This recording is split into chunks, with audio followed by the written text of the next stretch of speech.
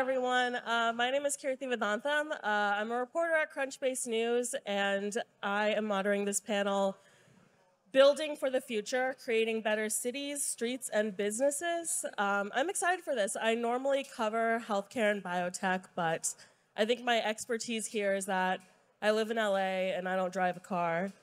Um, I'm going to have everyone kind of introduce yourself. Ben, would you like to start? Sure. Uh, hi, everyone. My name is uh, Benjamin Schrom. I'm a product manager at Lyft, uh, and I lead the, the mapping team uh, at, at Lyft. Good afternoon, everyone. My name is Hilary Norton. I'm the executive director of FastLink DTLA, a transportation management organization for downtown Los Angeles that is committed to reducing single occupant driving by 75% by 2030. And I'm also one of the California Transportation Commissioners, one of 13 members of a commission that manages five to eight billion dollars in gas tax funds every year for the state. Hi, everyone. Hi, everyone. My name is Prescott. Uh, I'm a VC. I invest in transportation and energy technologies, and a big focus over the last few years for us has been about how those technologies actually get used in cities. Hi, I'm Eddie Navarrette. I am the Executive Director of the Independent Hospitality Coalition, representing small business hospitality uses in Los Angeles. My background is architecture, land use, and kitchen design. And I came up to represent the hospitality community, knowing the in and outs, the bottlenecks of what holds back a lot of entrepreneurs from progressing forward. And so that's what the Independent Hospitality Coalition is about. It's about progressing our independence here in Los Angeles and building our small business community.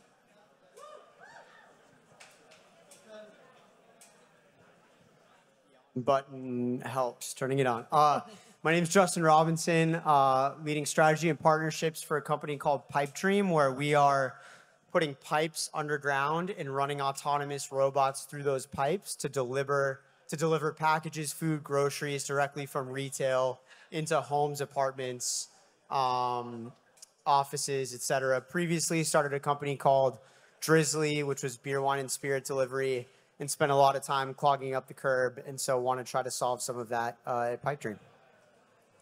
Okay, great. Um, so I kind of think obviously everyone here knows that better cities are inherently related to mobility, transportation, curb space. Um, I kind of want to ask you guys what you guys think are the missed opportunities right now in terms of how we're utilizing our physical space. Um, and in what ways they should change. And Hilary, I kind of want to start with you on that since your background, you know, you know a lot about the transport, what LA's tra- transportation situation looks like.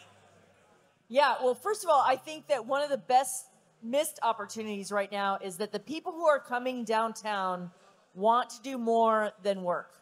And I really think we need to make it much more possible for you to go to work and then go to lunch and go to dinner and make it part of a really great, vibrant entertainment city. And I think that if we can start really thinking about how we're going to move our transportation network around people doing more than one thing when they come downtown, when they come back to cities, we'll do so much better. And I think especially that's important for women, making sure that we can travel safely after dark to all the things that we want to do. I mean, small business is the backbone of our communities. And really, we have to look at what they have been doing for years and what we can allow them to do. And we've had this three year pilot program called Alfresco, which has shown what we can do, what shows what they can do if we just get out of the way. And so I feel like missed opportunities are allowing more businesses, giving more businesses those opportunities so that they can thrive and make our streets safer.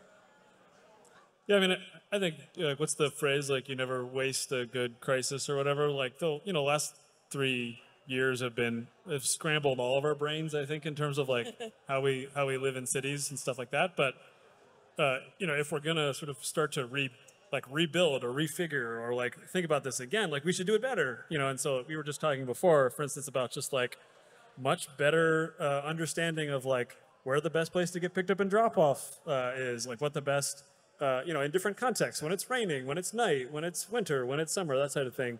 Um, or like I live in San Francisco, and uh, one of the I think the best parts about the last couple years is like building these sort of parklets that people eat outside. It's a community space. People are you know uh, hanging out. It's like a fun to be a pedestrian. And now they're like tearing half of them down to turn them back into parking spots. You know, this, and this for me is like, we, we're wasting the crisis to some extent because we're like sort of uh, deconstructing some of this like cool, I think like, you know, human infrastructure that we made, which actually made it fun to be outside. So, um, you know, I think that there's, there's some really cool opportunities that are emerging, but we also just need to like look at the things that happened and see the things that were, uh, you know, actually uh, uh, pretty neat and pretty cool and that we should keep. I'm a big investor in uh, in India, and more so, I think, than in the United States. People in India understand that cities are about opportunity. People come to cities because if you leave a village where you have two job opportunities, you go to a city, you have 2,000 job opportunities. The problem we have with mobility in cities today is when you're stuck in gridlock, your opportunities begin to close. When you can't have your kid safely walk to school and you have to actually drive your kid to school as a mom or a dad, that changes what your morning looks like. When you can't go home after work and feel safe, you have to leave early, that changes what your opportunity looks like. So it's almost impossible to say what the missed opportunities are because there are so many millions of missed opportunities every day. The most important question is how do you get mobility working so that people can go where they want to go and do whatever they want to do? I I do think um, it, it does feel like there's a bit of like a domino effect almost, but it's impossible to say which domino is the first domino to fall. Um, and you know, Justin, you uh, used to work at Drizly. Um, I want to ask you a little bit about what was your experience working at the company? What, what did you learn about, I guess, the curb real estate while you were working uh, at that company and the friction points that exist there? Yeah. Um. So while at Drizly, we, you know, learned that a lot of the time spent picking up packages and dropping off packages results in double parking, in congestion, in traffic, and is not sort of the optimal experience for any resident living in a city that you have to see all these Amazon trucks, Drizly, Uber, whatever, double parked. It takes five minutes to pick up a package or food from inside a restaurant, bring it out. And that is inherently unsafe and it doesn't lead to like an optimal, you know, sort of pedestrian resident experience. Um, and so in in Pipedream, what we're trying to solve is to essentially remove uh, commerce from the streets and from the curb and reduce all emissions and congestion along the way to make the curb what it should be, which is a gathering place and a delightful place for people to live and walk and talk and and work. So um, yeah, that's kind of what we're up to.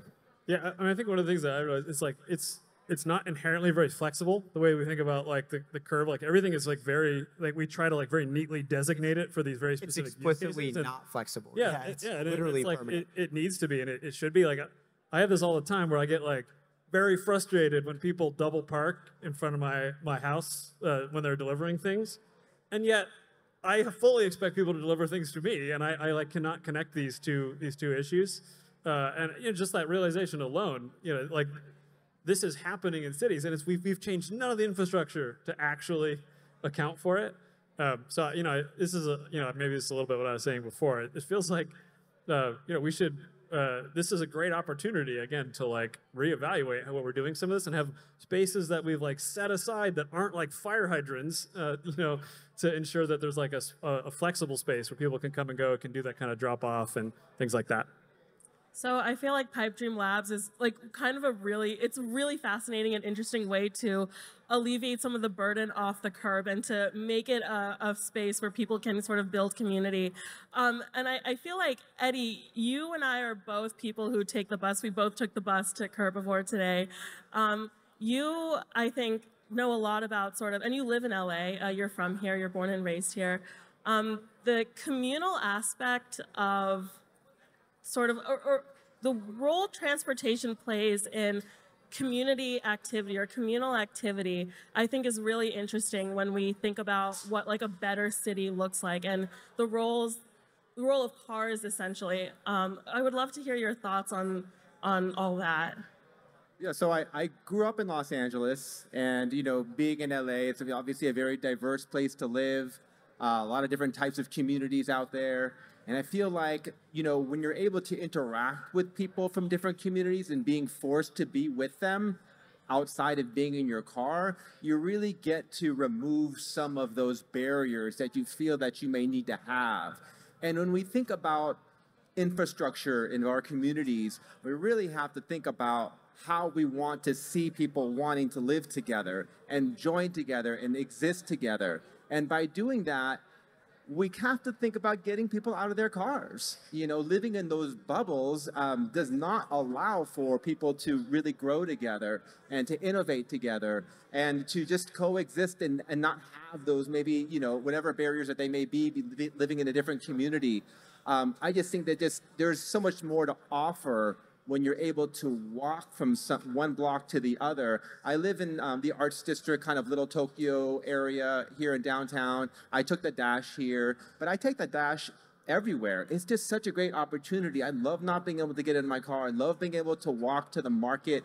Um, it's you know it's very kind of like ethnic forward type market but I just get so much out of it being able to go to the local dry cleaner and walk to um, my local sushi place or you know my, my local bar if I have to or I take the the bus to my girlfriend's house in Silver Lake. It's just it's so easy and I get to know LA so much more when I'm able to just get to take the streets and see the streets and be on the streets, you just get to really um, feel like you're part of the community as opposed to just driving from one place to the other every day. I, I, I mean, obviously, I don't drive, so I have to agree. I feel like I'm not siloed by the highways. I, I'm in the neighborhoods. I see how the different neighborhoods connect as a virtue by virtue of being someone who's a pedestrian and a busser in these streets. Hilary. Yeah, I, I want to say that that's one of the reasons why I'm a huge proponent of the LA streetcar that we have planned here because we have a gorgeous city. When, when you can actually look up and look around and see what's there and actually interact with people, it is a gorgeous, gorgeous city that usually has fantastic weather. And we don't get to see enough of it because we're so, if you're driving, you just are looking at all the ways that you could possibly get lost, all the interactions. You don't get to appreciate the city. And I think that's really what people like. And I also say, as a soccer fan and, and a season ticket holder for the Angel City Football Club, there's nothing more fun than being on the trains, all in your uniforms. And we are a sports town. Every day is game day. We should be really building that exciting rapport. And um, the same is true of the Music Center and the Hollywood Bowl everyone that I know that has taken the bus to the Hollywood Bowl never goes back. And and having Lyft and and Lyft at the Hollywood Bowl, but Lyft also at the um, the Coliseum and the the Bank of America uh, California Stadium. It is so much better when you can share the experience and you don't have to think, oh my gosh, where's my car? Where did I park? How do I get there? How much is it costing? You just think about how much fun you're having. And, and I think that ability to meet new people and talk and not think, oh my gosh, how am I going to, especially for us women, how am I going to walk to my car in a dark parking lot? Am I going to be safe? Is it okay? Taking that away and just enjoying and being in the moment is so different. And so I just think the more we can do that, the more we can actually enjoy our city, the more we're going to be spending time in that city. I think that we're saying the easy things right now, which is we all want a walkable city. We all want to be able to just go see our neighbors, walk to wherever we want to go. Um, there's a next part of that conversation, though, which is the harder part, maybe not in this audience, but it's redevelopment. Why don't people walk? Because we live in a city, especially in Los Angeles, that's particularly hard to walk and bike in.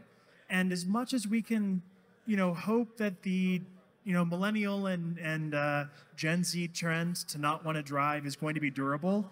The moment that we all start having kids as millennials and Gen Z, it's going to hit a wall. And the wall is not because people want to drive, the wall is because we've built a city that can't be safely and pleasantly biked and walked through. Obviously, there are a lot of amazing parts of Los Angeles. The point is, we have to really reconsider how are we going to generate density change zoning laws, and get transport re- get transit refunded.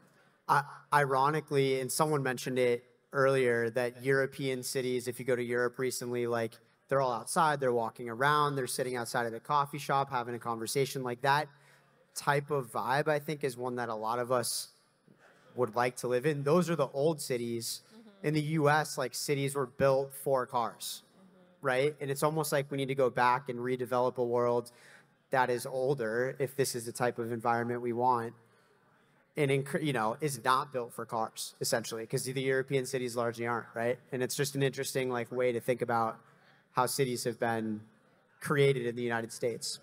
You know, a lot of the work that we do at IHC is advocacy based, and so we've been looking at a lot of the policies that you know um, limit us from being able to grow what we do and, and bringing building on community. And I feel like there's this.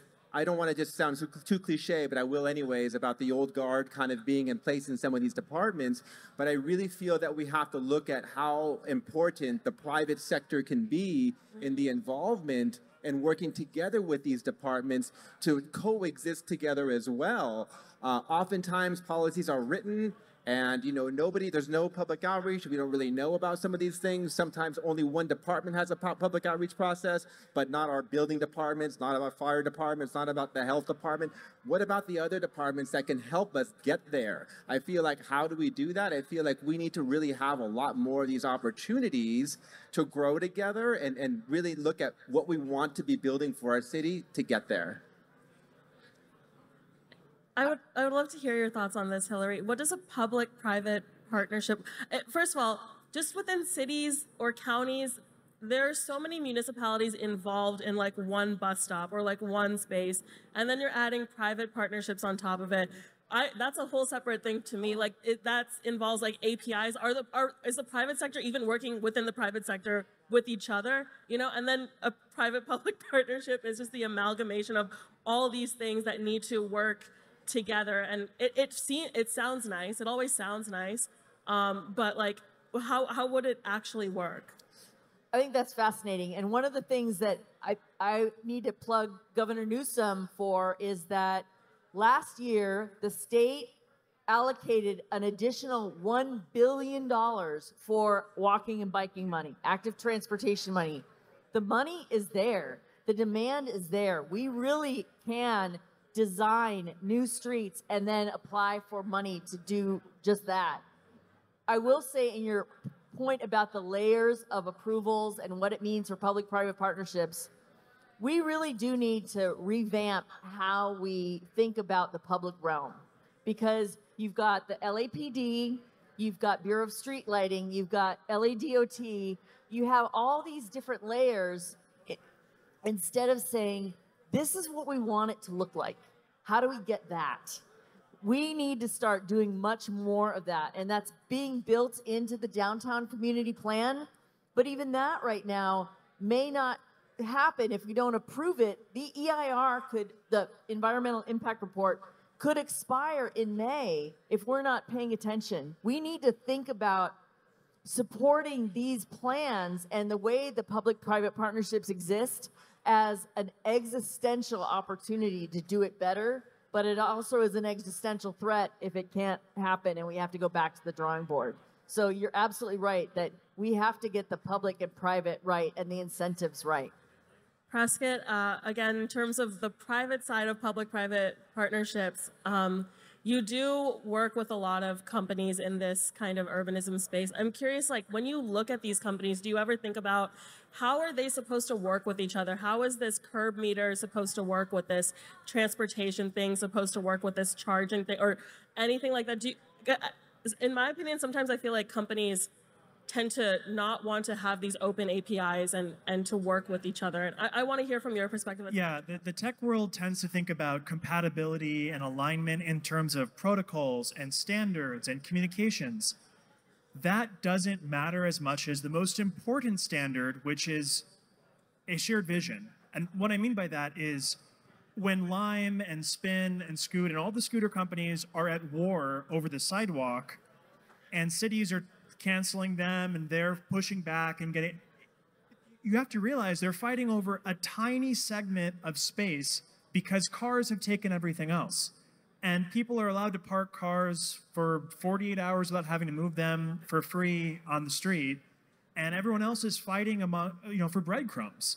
So, further to your point, there is the need for political leadership to take sure there's all these fighting not fighting collaborating factions of different departments and funding organizations and execution organizations and private groups that, that can support transit and transit oriented development. You could spend a lot of time trying to figure out how to get them coordinated but you also need somebody at the top that's pushing a, a unified vision that citizens can get excited about. You know, when you look at um, the shutdown of Times Square to cars, this is a, you know, a, a very common example people give. So excuse me if it's boring to a lot of you all, but you know, Bloomberg and and Sadik-Khan will say it was extremely unpopular. People were saying, "Oh my gosh, you're going to close Times Square? That's where I get, you know, through Midtown Manhattan, et cetera, to up up to to where I, you know, live in the Bronx. How am I going to do that?" One year after it was done, enormously popular move. Same with the slow streets. COVID gave us the political cover to make changes that require behavioral changes which nobody wants to make because we're all busy and we can't think about another way of living life. And then we look at what happened and we're like, oh my gosh, this is so much better. What were we doing before? But you can't have that happen until you have political leadership that can paint a vision that's attractive to people. So yeah, standards matter, protocols matter, communications matter, but you, you have to have a vision. Otherwise, you're not going in the same direction.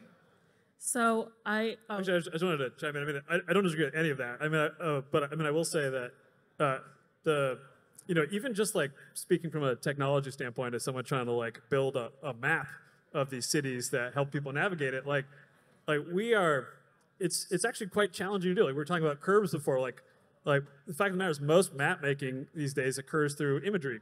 You basically like you, you get images or you use like sort of the, the telemetry of like cars are moving or how people are moving. Like that's how you basically build up these maps. The fact of the matter is like the, the curves are like they're so obscure, like they're occluded by cars parked like but like it's very actually hard to derive a lot of the data that's most useful for a pedestrian or somebody who's trying to find the right pickup spot or even just like trying to like come up with, uh, you know, this sort of like a preferred multimodal trip, like, you know, drive to this place, take a bike. Like the, the amount of data that you, from diverse sources that you need to stitch together to actually make that kind of recommendation. Um, there, like, there's not a particularly good, like, there are pockets of, of it, but there's not a particularly good sort of partnership between, I think, the public and the private sector and just making this sort of data, which everybody would benefit from, like freely available. For the most part, like we're trying to like figure out ways to, to look at the this tiny little section of the road to see what color the curb has been uh, you know painted in order to actually like put that into a map which helps us understand like the best place to get picked up and dropped off. So it's like you know even things like that we are like it's almost like we're working cross purposes or, the, or i don't even know if that's the case. They're just these sort of legacy ways that we signal these things uh, that that are just, just make it sort of inefficient from a technology perspective. And we can't go we, we have to re- recalibrate our culture, not around what's prohibited, but what's welcomed. And to really think about how do we welcome the right things? How do we start thinking about where people work, where people want to go, and welcome people there and build around that instead of thinking, what's the red curb, what's the blue curb? Because that assignment of space is more about prohibition than attraction, and we have to build around attraction. We have 50 million tourists that want to come downtown, that want to come to this city every year, but it's got to make sense. And the more we welcome them and make it easy and make it possible and make it make sense, the more they're going to tell their friends and more people will come and we will have additional money to build the, the other parts of the ecosystem so people don't have to have their car at all. So um, Prescott mentioned that we've built this city. Justin, you mentioned we've kind of built cities in a way that we've built them for cars. Like from the get-go, these cities were built for cars.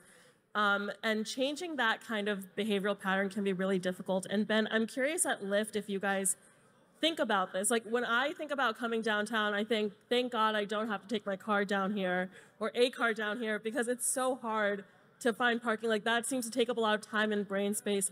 Do you guys notice, you know, with customers at Lyft, like how they think about transit and how they think about, you know, taking a lift or the time and energy worth taking a lift versus the time and energy of taking a car? Oh, I mean, yeah, I mean, I, like the sort of singular obsession of the people who founded Lyft was, you know, basically turning cities into places that weren't built around cars, but were built around people. Like that is a phrase that, you know, you, you basically can't go a day at Lyft without hearing that phrase. Uh, and it, you know, it's the one that in, inspires me as well. I think, you know, in, in practice, this is this is quite challenging. I mean, Lyft has, uh, you know, the one of the the things that, you know, we we've invested a huge amount of time in is the the our bikes and scooters program. So the, all the bike share uh, offerings that we have. And you know, actually, frankly, one of the, the things that we've we've found is there's not nearly as much overlap as you'd imagine between people that uh, you know use bikes and scooters and, and use rideshare. And you know, ideally, you know, like in an ideal world, people would would view uh, you know these things as like part of their own trans like a, a multimodal transportation network where you could like drive to some place that then facilitates taking a bike to get into a more congested area, things like that.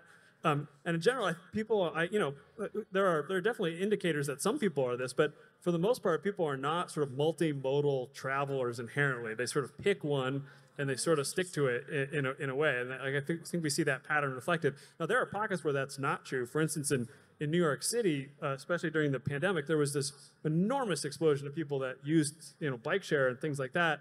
Uh, and, and that, that was one of the, the, the coolest things to watch happen um, but there, you know, there's like a, I think there's a, a fair amount of work that uh, we need to do sort of collectively uh, to get people to, to start to think about, you know, transit in a multimodal way. Uh, and, and, to like stitch these options together. Like you were talking about, like going to to like uh, you know uh, sports games and things like that. Like you know, it, it is a it's an utter nightmare to drive to uh, you know a lot of these um, uh, various arenas and, and, whatnot in San Francisco, but it's actually really, really pleasant. I, I've got it down now where I know I can drive to a place a couple miles away. Can, it's easy for me to park. There's like a Lyft bike share dock right there. I hop on the bike and I'm there in no time, and I get to like, you know, ride the bike through like the, the fans. It's it's nice. I mean, it's just like it, that's it's a very pleasant experience. And I think part of like Lyft's challenge is to is to make that clear to a user who's like opening the app and, and trying to make a decision about how to get there. Um, that's something that I think that you know we, we have all the assets in place and uh, and we want to keep working on that. Um, you know, but this is again, it's not like a no, no one entity is going to solve this problem. Is that a look into the Lyft product roadmap though? Because as a New York City resident, I would love to know the quickest way is to take a bike share here, subway. Like you know, a Google Maps, like the bus tra- bus option for. And right now, it's just like one or the other. Uh, uh, feedback received. Uh, something we think about a lot, uh, for sure. Um, I also do feel like sometimes in cities, the behavior to take a car can be rewarded in a sense. Prescott, I'm wondering if you have any thoughts on that. I, someone told me in the crowd that um, like 14% of LA County is devoted to parking. I don't know how true that is, but it, you know, I, there's definitely uh, a lot of the city that's devoted just to parking. Yeah, I mean, people talk about the car subsidy and what they mean by that. And a lot of drivers will say, well, I'm driving because it's the most convenient. What other option do I have? That is the car subsidy. It's the fact that well, you can drive and get parking, but you can't bike safely. And when you bike there, you lock your bike, someone's going to steal it because there's not street enforcement and a culture of respecting people's bikes the same way you respect people's cars. It's not an explicit dollar subsidy, but if you were to try to put a dollar on it, you'd want to start with the land dedicated to parking. Uh, you'd want to start with the fact that street parking is very affordable. And it makes sense because, you know, I'm going to go out on a limb here and kind of like make a comparison to the student loan forgiveness program. But the student loan forgiveness program made a lot of sense for a big segment of society. It's not all of society, it's, a, it's the upper middle class that really benefited from the, the loan subsidies.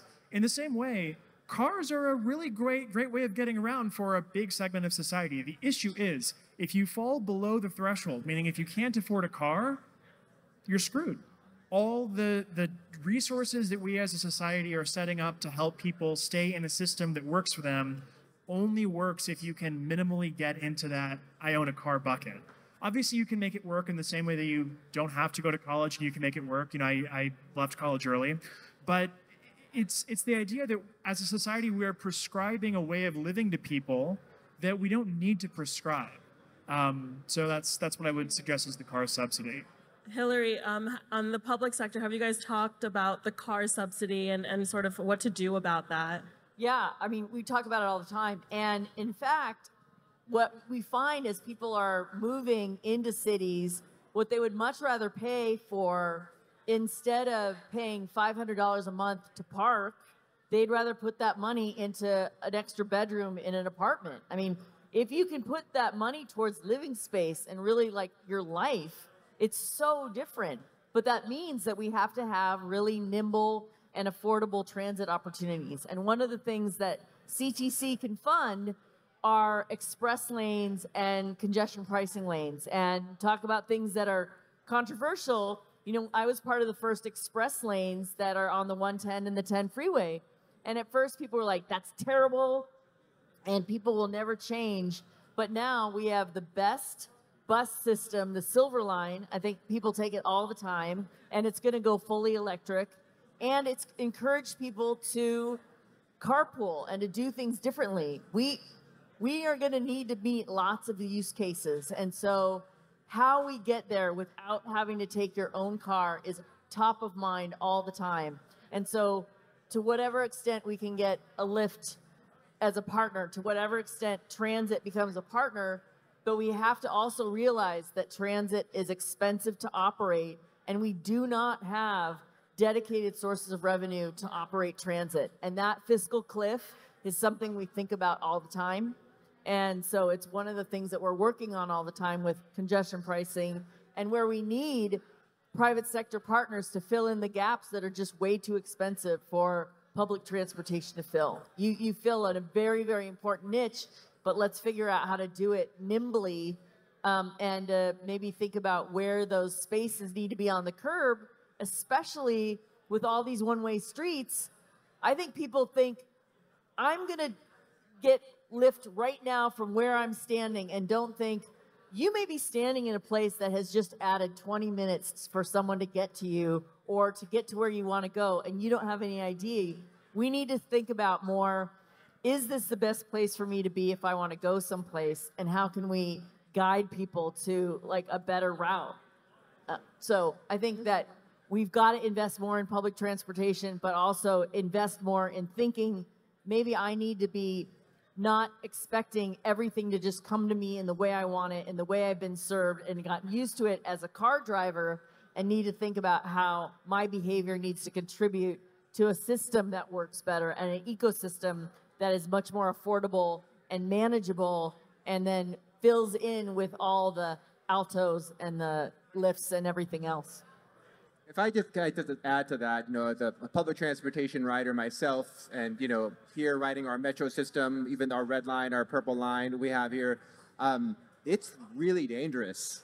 And I feel for the folks that have no other alternative but to take those lines, um, the danger that they put themselves in, and, and what that is doing to our younger communities as well, and what they're seeing every day. And it's just really going against us getting to those places. And I feel, yes, like you said, let's invest more into public transportation, let's invest into our streets, but we really have to consider, and it goes to the leadership thing as well, that we have to install safety mechanisms in these places so it's just a safer journey. How are we going to get our tourists that come here that want to take public transportation to want to just to encourage them to do this as well? How do we do it? We got to build it, but it's got to have safety measures in place. And right now, it's really a, a breeding ground for criminal activity, and we should, we need to change that. And I know that you know a lot has happened since COVID, but I think we have opportunities to make a difference. And safety, I think, is something that we need to put in a huge perspective.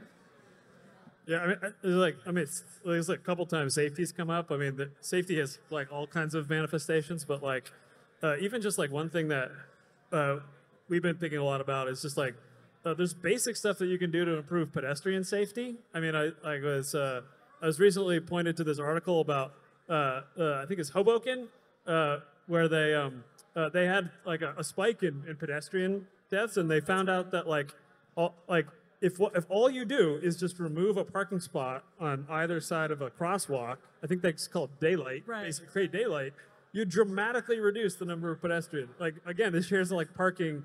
You know, coming back to like uh, you know, literally kill people in this case because like a person stepping out from a, you know, into a crosswalk from between two cars, like they're occluded by oncoming, and people can't see them. And if, then if you remove it, suddenly you can see people. Uh, you know, so like this is even the type of thing that from a mapping perspective, you know, like we can begin to figure out like, oh, the, here's the case. You've actually created a dangerous traffic situation. Maybe we need to signal out to a driver, but the ultimate way to solve it is just to not have the dangerous, you know, situation at all. So there, there's like basic, ba- these are these don't seem like you know particularly challenging ideas. They're just it's just challenging from like a, uh, you know, like a motivation standpoint. I think. I, I remember reading that as well, and it's one of the. It's a good example of like these invisible friction points that we don't even know are friction points, but they exist. Um, Justin, in, in terms of infrastructure, I think Pipedream Labs is really interesting in that like you build these underground tunnels and they deliver goods. Do you have like any projects underway that you're allowed to talk about right now? Because I, I'm having trouble like visualizing it. Yeah, we have one project underway that is going to launch next month, so I can't get into too much detail, and then a couple more uh, in master plan communities. So communities that are being built from the ground up, reimagining what a city should look and feel like, where they're not built around cars. In fact, they don't want cars in their community and they're being built on just dirt, right? And and they're saying, how do we build a sustainable, friendly, walkable community? And the answer is without cars and without deliveries needing to be run to every single household from an Amazon truck, but can we bring it to one distribution center and have all deliveries go out to every single home? That's to give you a sense of where we're headed with some folks, that's where. But that's what happens when you rethink how you would build a city.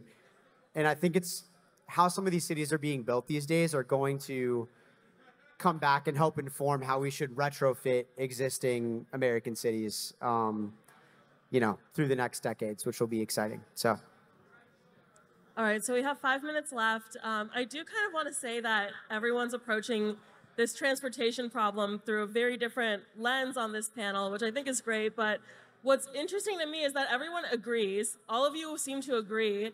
Um, and yet I personally don't see a lot of changes, you know, happening like on the road itself. Um, I, I'm curious to know like what, like, what's the next step here? Like what's supposed to happen at this point?